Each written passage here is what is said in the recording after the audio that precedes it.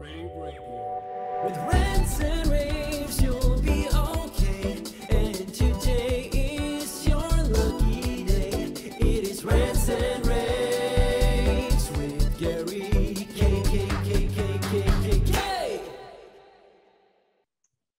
Hey everyone, this is Gary Kay, and uh, we've been counting down to InfoComm. But you know what? The truth of the matter is, not everyone is going to InfoComm this year for obvious reasons. And there's a bunch of brands that won't be there, but they're still introducing products, uh, have introduced a lot of new products during the pandemic, and have also uh, having their own kind of events and webinars and things like that. And one of those companies is Christie. I mean, you're you're in Canada, your your uh, your uh, you know world head global headquarters is in Canada, and uh, you know the world is just now start, starting to open up. I suspect that that even if had you planned on exhibiting, you'd have a hard time getting people to go. Right? I mean, there's still you got people all over the world. It's not like you're just based in Orlando or California, right? Oh, that's for sure. In fact, well, actually, our, our global um, head office is actually in Cypress, California, but our biggest manufacturing facility has been in Kitchener, where I'm located, and our engineering department is mostly located here as well. But I mean, yeah, you're right. I mean, there's so many people from around the world that represent Christie, like you know many other big manufacturers. But it's uh, going to be tough to, well, not going to be tough. We're not going to InfoComm, unfortunately, because everybody is dying to get to to see people again, re-engage, and, and have a great time with people. But unfortunately, we're not going to be one of them this year. Well, there's there's a normally 900 exhibitors. There's going to be 250 maybe or so exhibitors. Wow. I'm I'm being joined by uh, the director of global enterprise marketing, Steve Capling. Steve and I go back a long way. We've seen. Remember the days when it used to take four hours, five hours to set up a projector, and now they're almost plug and play. And there was a time when that was actually a thing. And Christie was, you know, a big manufacturer of CRT projectors. They Oh, actually yeah. had the first single lens CRT projector. They did some really cool things. But now, Yeah. you know what? You count up all the movie theaters around the world. There's a good chance if you've been to a movie in the last 10 years, more than half of the time you've watched that movie on a Christie digital cinema projector. Uh, and that's really been a big part of uh, the develop, you know, the engineering, dri- the, the way you've driven engineering because you have 4K native projectors all the way down to kind of anything that you want and anything you ever need, including the uh, the the the M series. Yeah, I mean, you know, Christie has been manufacturing even film projectors since the uh, 60s. Yeah, and then right. we got into, I think we manufactured the first single CRT projector for business in the mid 70s, and then got into color a couple of years later. So it's been it's been a very long um, history that uh, of uh, you know in the AV industry. So it's it's a pleasure to be part of that team and uh, that history. We've been around for 90 years now, actually over 90 years.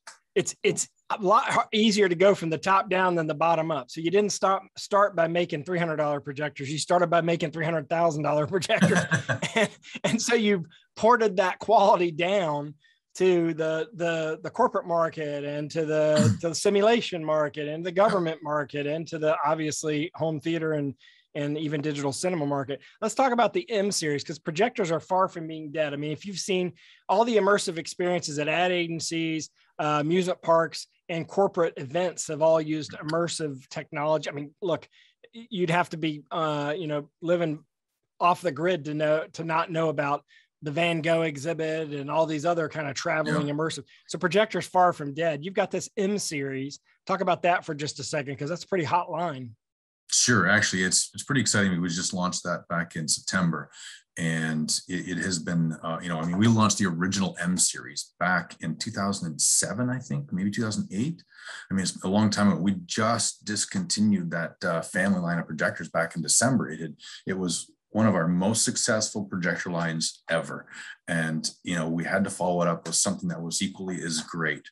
And we wanted to make sure it lived up to its name and we also want to make sure that we added some features and benefits that were new, and we knew we had to come up with the latest and greatest technologies to to support it. So I mean, we've been asked for years from our customers, when you when's the new M coming? When's the new M? Well, finally, it's here. The new Christie M 4K25 RGB, and it's a it's a pure laser projector, of course. So you get the red, the green, and the blue lasers, and it is. Um, an all-in-one technology, which is you know another thing that Christie has actually put a lot of research and development into in our RGB technology um, development for the past number of years. I mean, the first one we did uh, a few years ago was similar to some of the uh, you know other ones still available in the market but it was you know an external um, laser rack and you Yeah. had to have this giant refrigerator size Yeah. rack you know and There's some benefits to um, that and trade-offs, obviously, because the benefit Yeah. is it's not in the room with you, but the trade-off is it's big.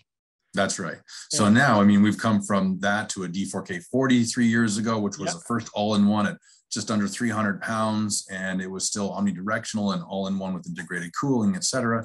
But now we've really, so we've taken that that focus or that development focus, I should say, and gone with, you know, we've come up with the Griffin. Even last year, not many people have even seen the Griffin 4K 32 RGB because it was uh, launched last year during InfoComm that, of course, or was going to launch at InfoComm that didn't happen. Um, and now today, a year and a little bit later, we've got the Christie M4K25. And it is, you know, just to say the Griffin was 175 pounds at 32,000 lumens. And now the M4K25 is 25,000 lumens at 92 pounds. That's amazing. It's a single it- chip, right? No, it's a three chip. Three chip. Okay, three chip system. So Three you're getting the quality of the three chip. Yeah. But you just brought it down to a smaller package. Um, we did. We had to make it fit in the same rigging cage and use the same lenses too. So that was a big part of it. Um, and it was pretty surprising that, I mean, the original one was around almost 60 pounds, just under 60 pounds. This one is a little heavier, but it still fits in very close to the same chassis. Yeah, I guess I should have known that's three chip, but obviously you have one chip as well. And then LED, you know, LED is, you know, you were one of the first companies that showed um, mini LED technology in the form of the microtiles LED. Um, I guess it was probably two years ago or three years ago at ISE. Um, that's mind boggling. Like yeah, microtiles has a great brand first off, and then you take it and put it into the LED format and it looks amazing but you have a lot more than just that. I think everyone knows you for microtiles LED, but you have a lot more uh, than just the microtiles. Yeah. So, I mean, microtiles, as you recall, I mean, we launched that original line of microtiles back in 2009. And then I was at that launch in New York City. It was. Yeah, you Yeah. were. I was there as well. Yeah. That was a lot of fun. it was a lot of fun and it was you know it was a great technology I mean, we we sold you know uh, 70 plus i don't know 80 plus thousand somewhere it, it was a lot and Yeah. it did really well in the industry it became uh, very well recognized uh, in Yeah. av and digital signage and unique applications like that and we had to bring that uh, you know that same legacy to uh, to or continue with that legacy when we evolution had an evolution in technology and took it to led and today, you know, microtiles LED has actually been around for three years now, um, and really been super well known. Um, but we really changed what you know. We, we had to. We want to make it front accessible like it was before, Yeah. but we had to offer better color and and um, keep up with you know the capability. So I mean, now we, we can offer 14-bit color with the microtiles LED. You can actually, I don't know if you, I think it was early in 2020 that we actually um, launched uh, 3D active 3D capability for uh, microtiles at 60 hertz per eye. So that was also very um, big advantage for anybody that's looking to do 3D. And then you know we take um, we we uh, integrated or continued with a patented neighbor detection, our auto color matching. Um, it even has uh, the the microtiles LED even has P3 color performance with HDR10 compliance.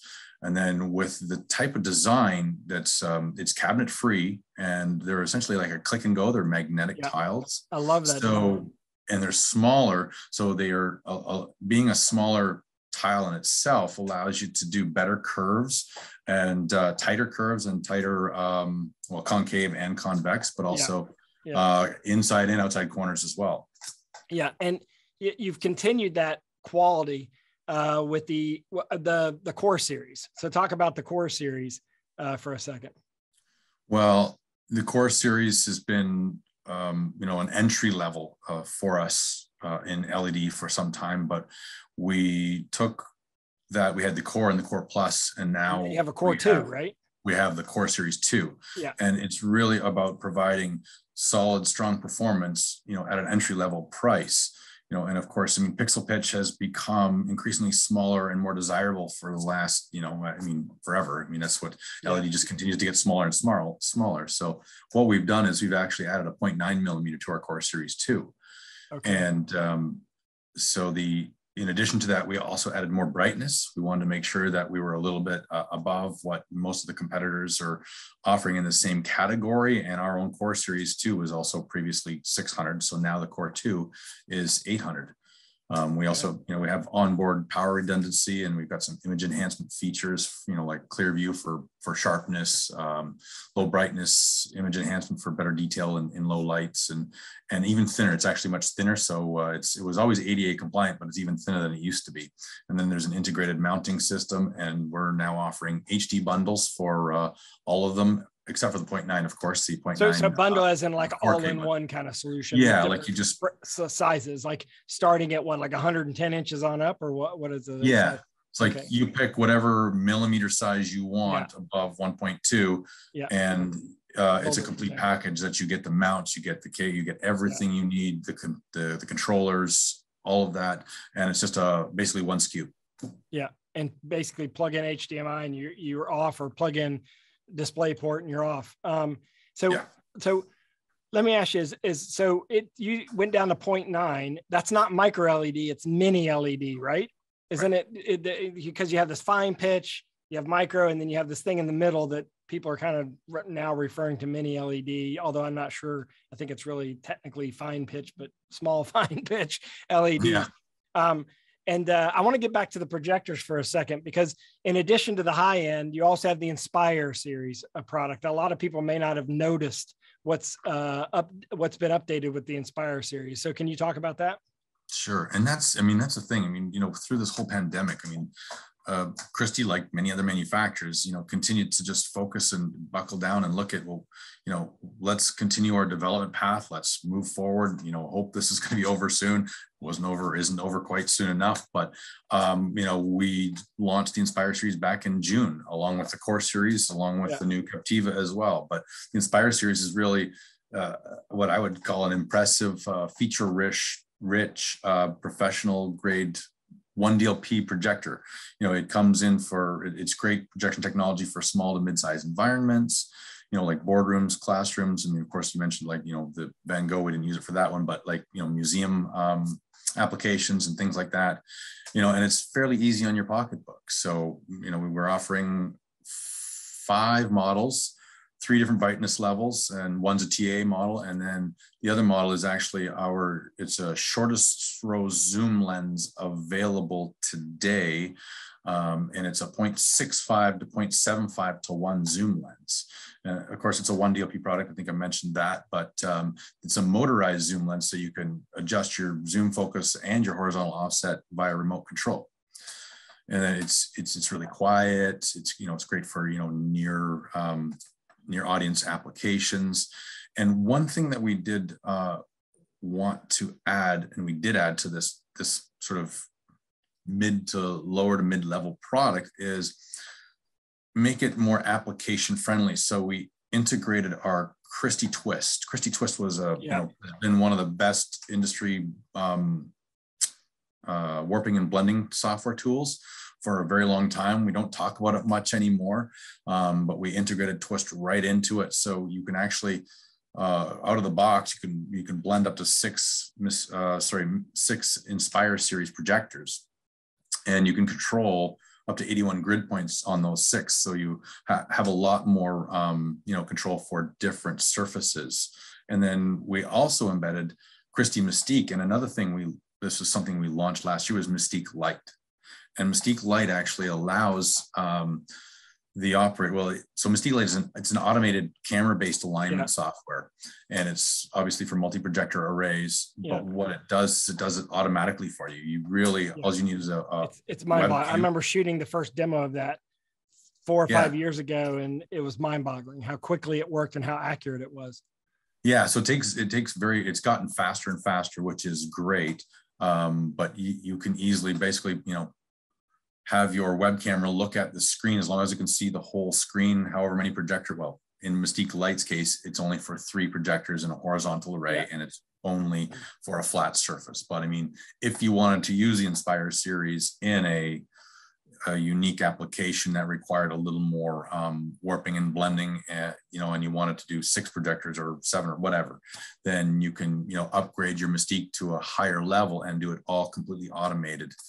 And You know what's um, interesting about that is those features, like the warping and the automation of uh, of of um, image mapping, is those used to be all for rental and staging companies, but now we're using that stuff in permanent installs and uh, and corporate applications, digital signage now, and there's a lot of ad hoc uh, immersive environments that you see ad agencies doing things like that. So th- that's something that people should be aware of. By the way, and all of absolutely. this I I, put link. Go ahead. I just want to say, like, that's the thing about, you know, when you talk about, you know, some people in the, you know, AV industry have been saying, well, you know, projection has a limited life. And, but, you know, right now, I mean, there are flexible LEDs and things like that, but you can't do the same type of Right. surface, 3D surface uh, blending and warping that you can do with projection. Right. Yeah. I mean, that's, and I think what's one of the things that's what I was going to say is one of the things that's happened is people found out about LED and now they're using projection to do what, what they wanted to use LED for because it's a lot less expensive. so Yeah. I think they're like, I didn't know you could do stuff this big. And you're like, well, with projection, we can do it. And it's less expensive and we can actually do it around the corners. Uh, so I think Yeah. that they're playing really well together, the technologies. Speaking of which, both technologies can use the Pandora's box and you're up to version eight of that uh, which is Yeah. industry standard. I mean, everyone, every staging company, everyone who's doing that, that's dealing with that kind of image mapping and that size of a, a media player, everyone knows that everyone has it in stock. I'm going to put links to all this, uh, all these different product lines in the description of this video cast. So if you want to find out uh, what's the latest with Christie, and of course, you can reach out to Steve and his team at Christie, uh, obviously at steve.capling at christiedigital.com. Did I leave anything else out, uh, Steve?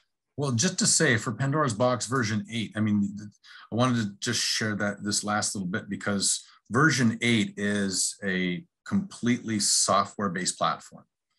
And the nice thing about that is, you know, everything, all of the features that you can get with Pandora's Box version eight now are available in a software-based system or so, solution so that if you already have you know, if there's operators that are using custom hardware systems of their own, they can integrate it onto that system without having to buy the Pandora's box server or the player, you know, so it it allows for more, you know, it's it's a more diverse product for for to allow What people to- OS does it is it compatible with? I mean, like how do you can't just put it on any com, any computing device, can you?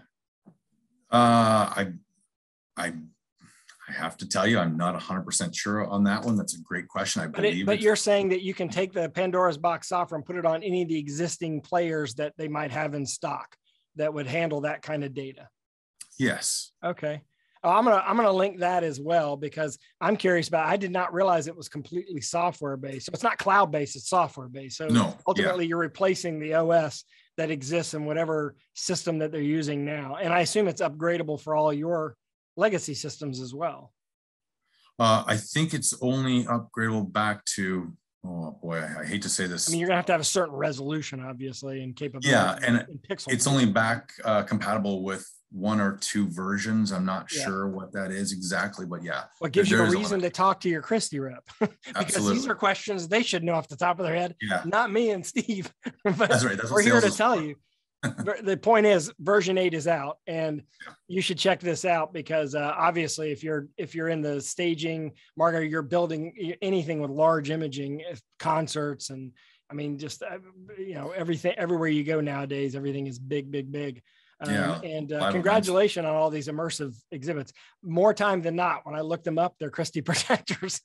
And, and all all these places i go uh, are filled with christie projectors. So obviously you're doing your job Well, um, yeah, we're happy to hear that. Uh, as you know, as every manufacturer that hears their the technology has been integrated into it. But yeah, we we you know we, as you can see by my uh, background, I mean we, we've done a lot of large scale, uh, spectacular events, whether they're sporting or concerts or otherwise. yeah and that's really uh, one thing that you know we offer one 3DLP projection technology, even laser phosphor as well. It's a great technology, but you know we have a plethora of technologies that are really made for almost any type of application in any budget.